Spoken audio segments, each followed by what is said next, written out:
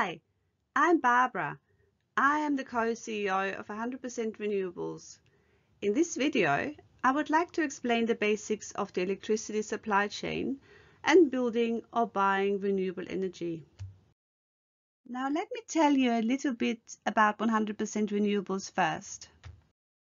100% Renewables helps organizations to plan for and move to a clean energy future through energy efficiency, on-site renewable energy with, which may include battery storage, off-site renewable energy build or buy solutions, and carbon offsetting.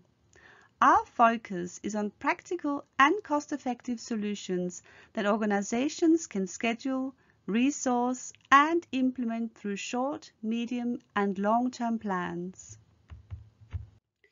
Now this video came about because one of our clients recently went to market via an expression of interest to solicit interest from firms and potential partners with building or sourcing large volume renewable energy to meet a significant fraction of their electricity demand. We were contracted to review the responses to the organization's EOI and provide our recommendations about sourcing large volume renewables. The requested interest was for two technical options, to build a solar farm on our client's owned land or to purchase renewable electricity from other projects for example from utility scale wind and solar projects elsewhere in the national electricity market. Energy markets and evaluating EOI responses is complex, so for our final presentation we were asked to also cover some of the basics to allow the leadership team to understand how we arrived at our recommendations. So firstly, I'd like to talk about the electricity supply chain then about your electricity bill and how this is made up. About solar behind the meter installations. Building your own solar farm. And finally, about corporate power purchase agreements.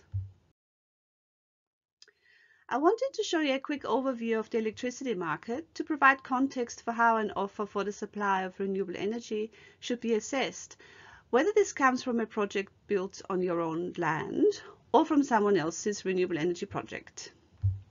Any electricity bill is made up of several parts, including generation, energy, distribution costs to transport electricity to your site's network, and other charges such as environmental levies, market operator fees, metering charges, and access or supply charges.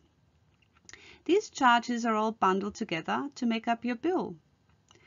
For large sites, you can see the full breakdown of charges, as in, for instance, the energy component, the network component, and the other component, which together make up your electricity bill. But for small sites, all these costs tend to be bundled together into a single rate.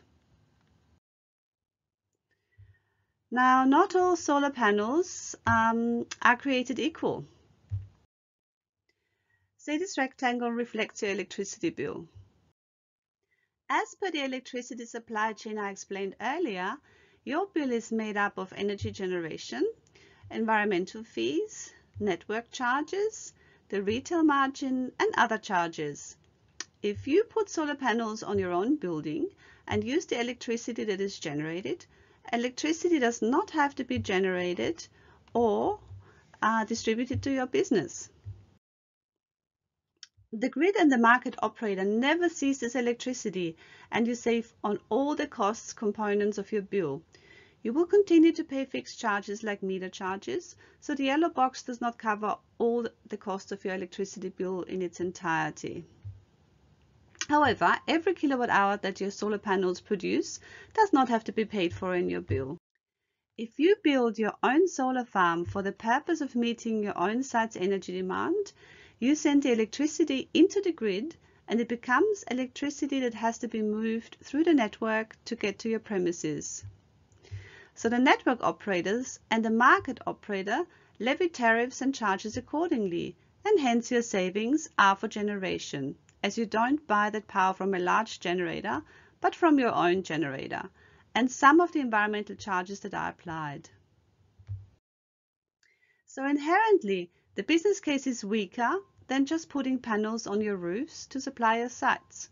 However, you can potentially achieve scale that you can't on your building's roofs.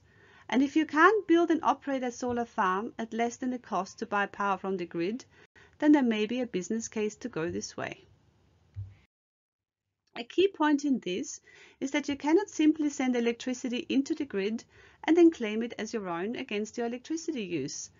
A licensed retailer needs to be part of the process, who can work with you and help you buy the power from your plant and may source the balance of power you require from the grid so that you always have security of supply.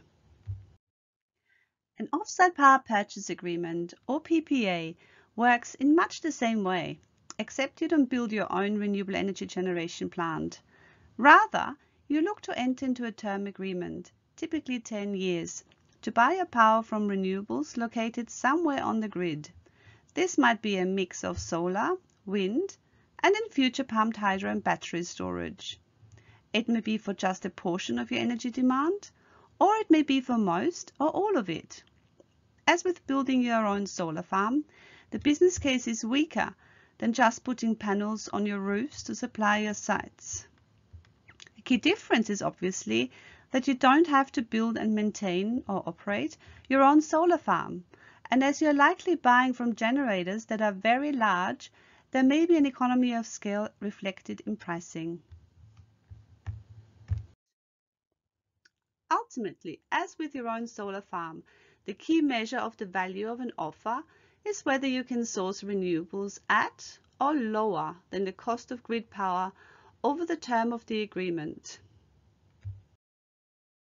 We hope you have enjoyed this introduction into the electricity market and the difference between building and buying renewable energy. Please hit us up with your comments or further questions. Thank you.